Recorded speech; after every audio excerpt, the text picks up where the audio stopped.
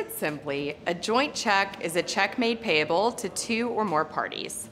A joint check agreement is a contractual agreement whereby one party gives permission to make a payment in the form of joint checks. An example of a joint check agreement from the construction industry would be where the prime or the general contractor agrees to issue a check jointly to the first tier subcontractor and then that sub's material supplier. So when this is done, both the sub and the supplier are paid at the same time. And then the chance of the sub withholding payment from the supplier is reduced significantly. Joint check agreements can be used in any industry. However, these tools are utilized far more in construction than anywhere else.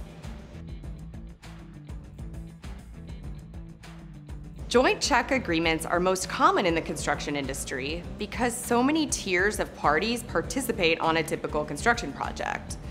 This reality of the construction business fits perfectly with the joint check concept. A joint check agreement is commonly entered into between a general contractor, a subcontractor, and a material supplier. So the supplier, being hired by the subcontractor, wants to protect itself against non-payment and all three parties agree that any payments made by the general contractor for work involving the supplier's materials will be written jointly to the subcontractor and the material supplier. So with a joint check agreement in place, the material supplier is protected against the risk of the subcontractor not paying them, even after the sub received payment from the GC. The general contractor is protected from the risk of the supplier not getting paid and then filing mechanics lien on the project. How? Because neither party will be able to deposit the check without the other's endorsement. So without a joint check agreement in place, when work is completed, then the prime contractor will pay the subcontractor for the work, and the subcontractor may delay payment to the supplier to help with their own company's cash flow.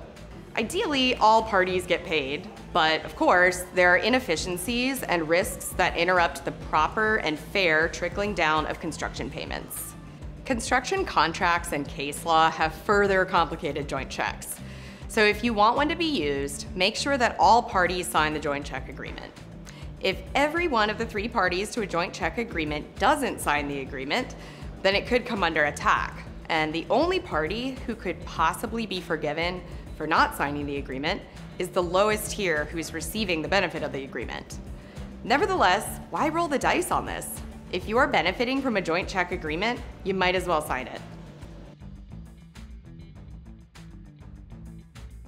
There is no state or federal law that governs joint check agreements specifically or that offers guidelines. Joint check agreements are a creature of the construction contract itself. In the United States, all parties have the general freedom to contract for whatever they want. The law only marginally restricts this freedom to prohibit folks from violating public policy. So, for example, contracting into murder or no lien clauses. So, what does this mean? It means there's no such thing as a standard joint check agreement. Accordingly, the parties to a joint check agreement can write the agreement any way they want. While this sounds nice and flexible, the result is that the industry is flooded with a ton of sample joint check agreements, and each of the samples would have sometimes significantly different effects. The joint check rule means that whenever an owner or a general contractor issues a joint check to a subcontractor, and then the subcontractor's material supplier, the material supplier who endorses and deposits the joint check is certifying that it has been paid all amounts due up to the date of the joint check. Be very careful about this. Consider the scenario.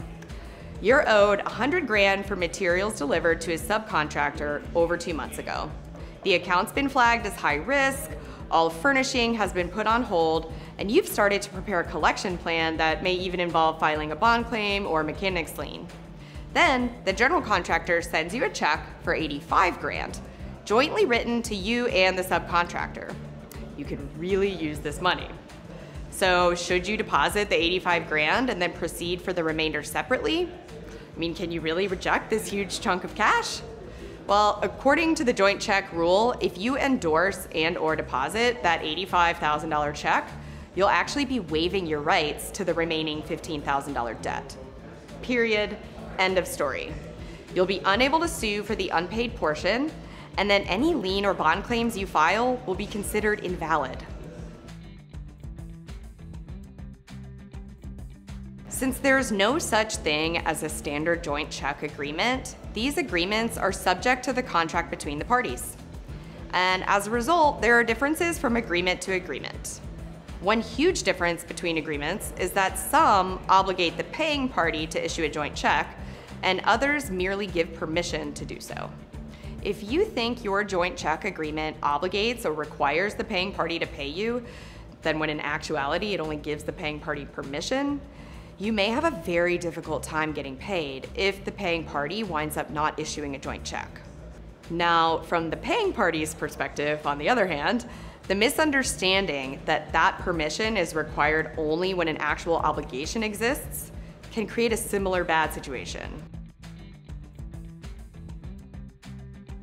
Joint check agreements primarily benefit the lowest tiered party, like a material supplier, the party making the initial payment, usually the general contractor or property owner, do receive a slight benefit from these agreements, but the benefit pales in comparison to the benefit afforded the party receiving the payment. So general contractors or developers typically don't want to take on additional obligation through a joint check agreement.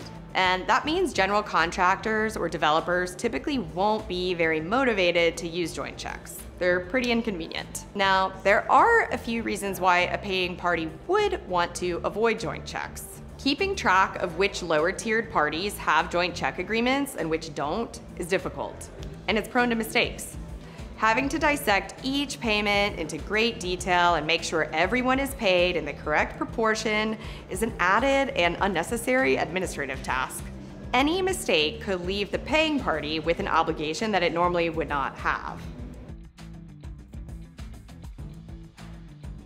So while paying parties want to avoid new obligations with a lower tiered subcontractor or supplier, they do like the power that comes with permission to issue a joint check. So absent a joint check agreement, a general contractor or developer cannot usually issue a check to a lower tier.